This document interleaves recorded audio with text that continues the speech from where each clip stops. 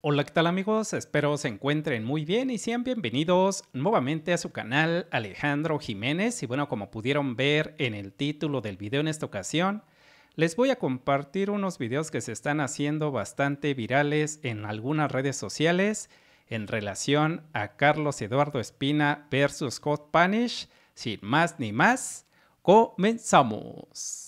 Vendido llama Hot Spanish a Carlos Eduardo Espina por apoyar a Biden. El chisme se prendió, entremos inmediatamente. Hola chicos, yo soy Eddie Nieblas y en esta ocasión agárrate porque el chisme se viene fuerte. Así es chicos, todo esto viene a base de los más recientes videos de Carlos Eduardo Espina, quien estuvo publicando varios videos sobre el debate presidencial. Carlos Eduardo Espina, quien manifiesta su apoyo hacia Biden, realizó varios videos hablando acerca de lo que Trump habló en ese debate, entre ellos mencionando que Biden había hablado muchísimas mentiras, pues el creador de contenido Hot Spanish no se quedó callado y le comentó varios de sus videos diciéndole lo siguiente, cada vez pienso más que te deben de estar pagando para que lo apoyes. Lo bueno que el debate es para los indecisos que no saben por quién votar, que miren la realidad y sumar más puntos. Ahora, él agregó un hashtag de que él apoya a Trump. Lo bueno que Trump apoya a los que vienen a hacer un bien al país, como lo dijo hace días, a los que estudien la universidad les dará papeles como parte del diploma. Y por acá nos encontramos otro comentario en otro de los videos que por cierto, bebé,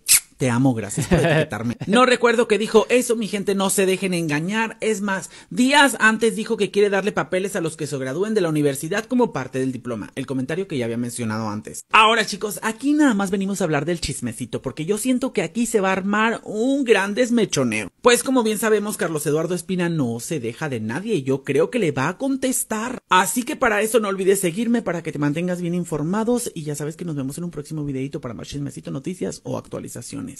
No sé ustedes qué opinan del video que les acabo de compartir. En mi opinión, yo creo que todas aquellas personas que nos dedicamos a crear contenido para diferentes redes sociales, tenemos la libertad de apoyar a uno o bien a otro candidato. Yo se los digo abiertamente, en mi opinión, yo apoyo 100% al próximo presidente de los Estados Unidos, Donald Trump. En exclusiva, Hot Spanish le responde a Carlos Eduardo Espina. Respuesta a Carlos Eduardo Espina. La verdad, no pensé que fuéramos a llegar a esto, pero pues bueno, todos tenemos el derecho de opinar y ustedes también, así como yo que hice un comentario el día de ayer en sus videos que le estuvo hablando del... Es lo que les comentaba en la pausa anterior. Todos y cada uno de nosotros tenemos la libertad de apoyar a Joe Biden o a Donald Trump debate de Trump contra Biden y ustedes me preguntarán que por qué yo estoy opinando si yo vivo en México.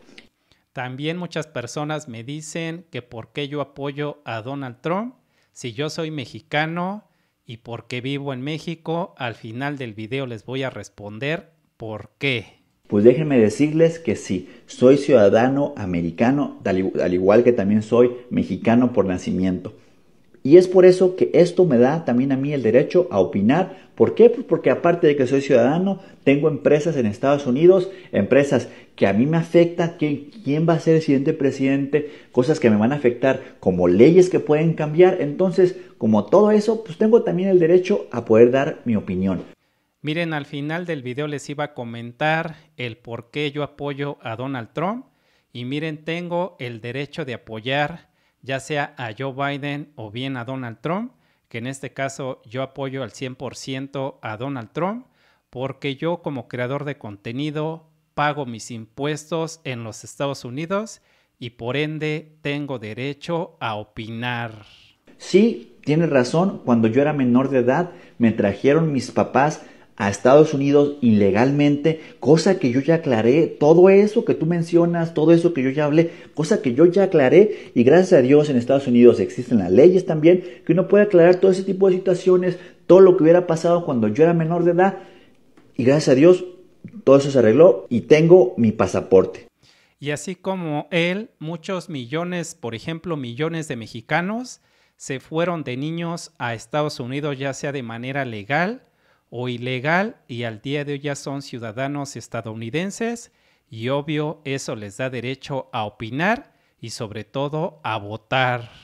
Así que como ciudadano americano tengo el derecho a opinar. Mencionas que yo en 2016 estaba en contra de Trump y hasta tengo un video musical que estaba yo cantando en contra de Trump y eso jamás lo he negado. El video ahí está.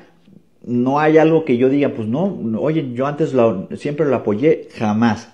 Recuerden que es de sabios cambiar de opinión. Ahora, ¿por qué cambió mi punto de vista? Creo que la mayoría de gente que ahora apoya a Trump, creo que hemos cambiado de opinión porque hemos visto la realidad. Miren, aquí en mis videos, si quieren ustedes lo pueden comprobar, en la mayoría de mis videos que hablo que si apoyan a Donald Trump o a Joe Biden, muchas personas que antes apoyaban la política de Joe Biden, al día de hoy, tal vez por el tema de la migración, al día de hoy muchas de estas personas dicen que en las próximas elecciones allá en los Estados Unidos van a votar por Donald Trump. Hemos abierto los ojos de lo que es la realidad. En el 2016, cuando yo miraba Univisión, Telemundo y que te enseñaban esos clips que los mexicanos eran estos, que los mexicanos eran otro, yo creía ciegamente, yo miraba las noticias y yo creía, bueno, sí es cierto, Trump esto, pero ya cuando uno está más grande y que uno empieza a revisar cosas del pasado y mira la realidad, que sacaron varias cosas de contexto de cuando dijo Trump que los mexicanos esto y los mexicanos aquello, Trump no está en contra de las personas que vienen a hacer algo bien a este país. Él siempre ha dicho que está en contra de los delincuentes, en contra de las personas que van a hacer un mal al país. Miren, yo también pensaba lo mismo que Host Spanish hace algunos años yo pensaba que Donald Trump era una persona no grata para los mexicanos, pero créanme que al día de hoy he entendido, al menos es lo que pienso y considero y tengo la plena seguridad, que Donald Trump está en contra de las personas que llegan a destruir y no a construir a los Estados Unidos. Así de claro. Creo que cualquier país está en contra de cualquier inmigrante que venga y haga un desastre. Aquí ha pasado en México también, con gente que viene de, otros países y que vienen aquí a hacer sus desmadres. También los mexicanos salimos a las redes sociales a decir, no estamos a favor de eso. De hecho, yo aquí en mi canal muchas personas, sobre todo muchos venezolanos y últimamente también ecuatorianos, me han escrito y me han dicho que yo estoy en contra de los venezolanos y de los ecuatorianos pero yo se los quiero aclarar en este video que yo estoy en contra de las personas que se están portando mal, es decir, de los malandros, de los marginales y lamentablemente muchos de estos marginales en su mayoría son venezolanos y últimamente también los ecuatorianos le están haciendo segunda. Si van a venir, pues vengan. ¿Qué pasó la vez que hablaron hasta de los frijoles mal? Nos puso, nos enojamos. es normal, cualquier persona va a defender a su país. Ahora, ¿qué ha pasado diferente de todos estos años que ahora yo apoyo a Trump? Pues ha pasado que uno ya despertó y mira la realidad que con Trump estábamos mejor. Ahora la inflación está por los cielos. Oye, pero es que la inflación pasó en todo el mundo. Sí pasó en todo el mundo, pero gran causa por la que pasó en todo el mundo es por culpa de Estados Unidos, por todas estas guerras. Trump, bajo Trump no hubo ninguna guerra nueva. Trump tenía hasta amistades con personas que nunca habíamos tenido amistad. Estuvo paz durante sus cuatro años. Yo quiero ese Estados Unidos que tenga paz. ¿Quién de las personas que está viendo este video no quiere eso? Paz.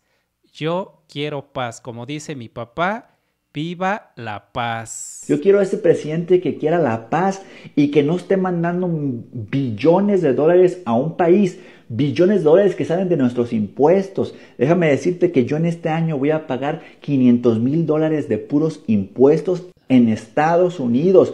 Y como mis 500 mil dólares, que son bastante, tengo el derecho a dar mi opinión. Y y yo también como mexicano, a pesar de que yo soy mexicano y vivo obviamente en México, tengo el derecho a opinar porque yo pago mis impuestos en Estados Unidos, porque yo recibo ingresos por crear videos para YouTube. No me gustaría que esos 500 mil dólares se vayan a apoyar al genocidio que están haciendo por allá. Ni yo, estoy completamente en contra. Eso yo no quiero que mi dinero se vaya a eso, yo no quiero que mi dinero se vaya a guerras, que ahí se está yendo todo el dinero.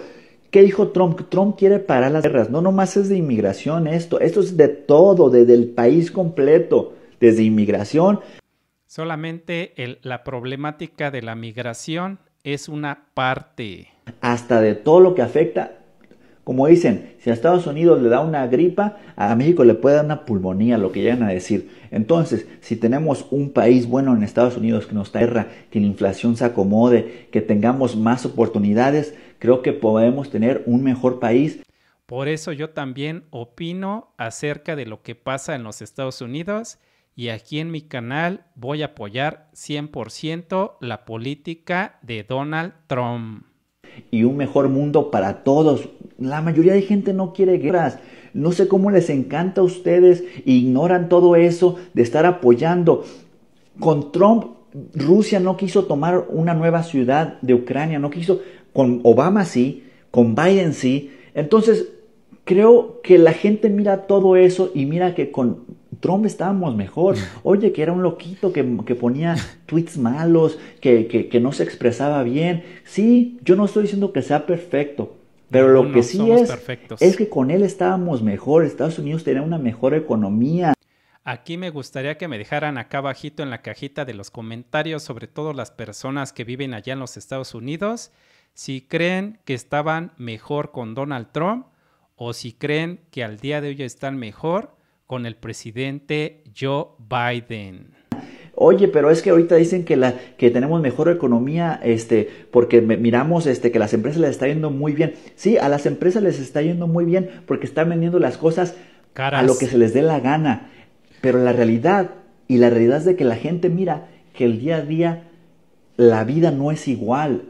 Muchas personas me han escrito y me dicen que la inflación está por las nubes. La inflación, lo que te costaba 100 dólares, ahora te cuesta 300 dólares, la comida no alcanza, la renta no alcanza.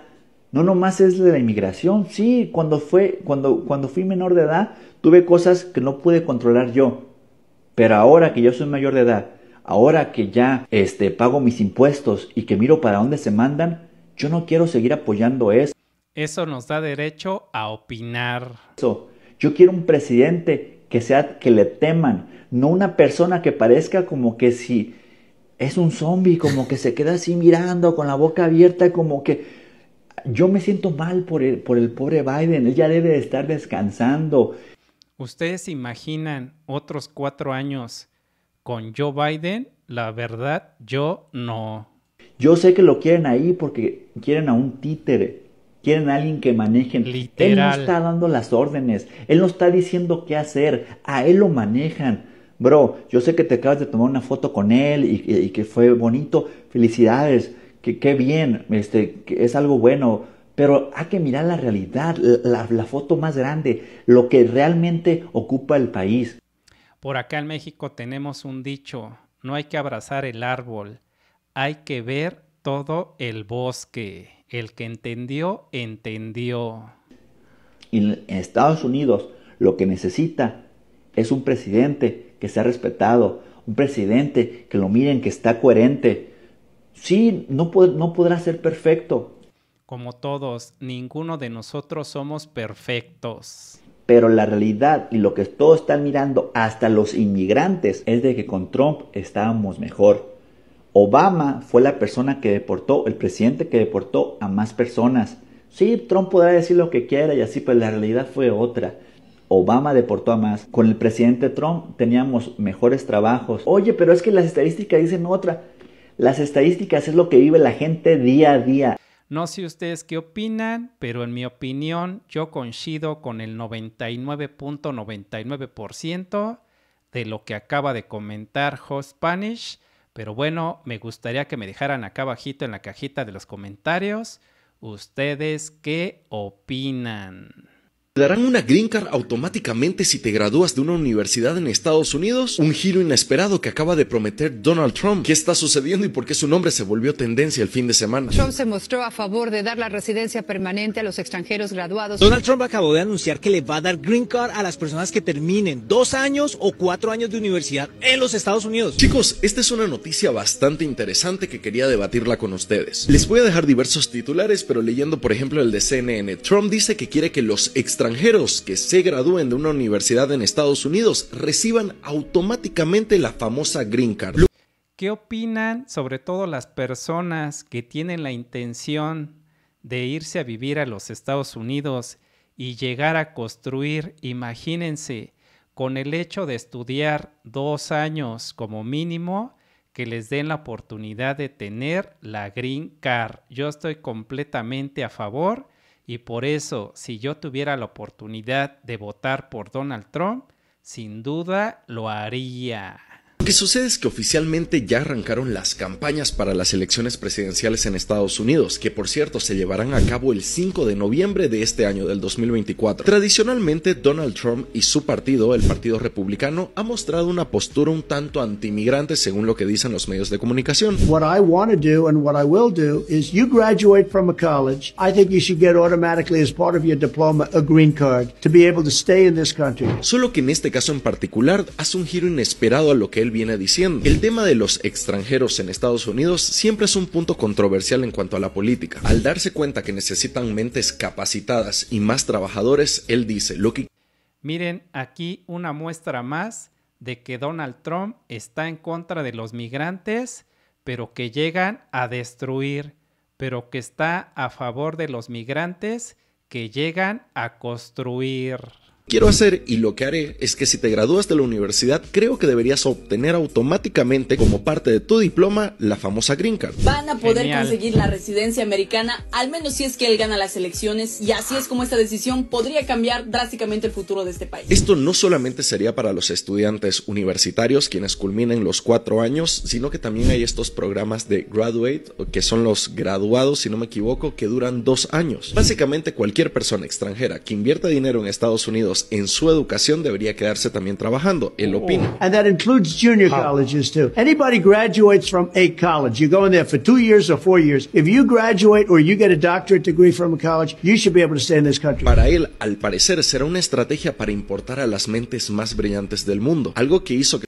Imagínense, mientras que el presidente actual Joe Biden está dejando entrar a millones y millones de personas, de marginales, malandros, con antecedentes penales y miembros de bandas criminales como el Tren de Aragua, la política de Donald Trump está en tratar de invitar o de motivar a las personas de que lleguen a los Estados Unidos a terminar una carrera y los va a premiar con la Green Card. ¿Qué les parece? Su nombre se vuelva tendencia y a muchas personas prestando atención a las nuevas políticas que planea implementar. El presidente Biden comentó algo similar al anunciar que planea acelerar las visas de trabajo para ciertos migrantes graduados en universidades de Estados Unidos. ¿Ustedes creen que esto llegase a suceder? No solamente sería decisión del presidente, sino que recordemos tiene que pasar por el Congreso, tiene que ser aprobado. Algo bastante controversial, pero bueno, ha hecho que el nombre de Donald Trump sea de los más buscados.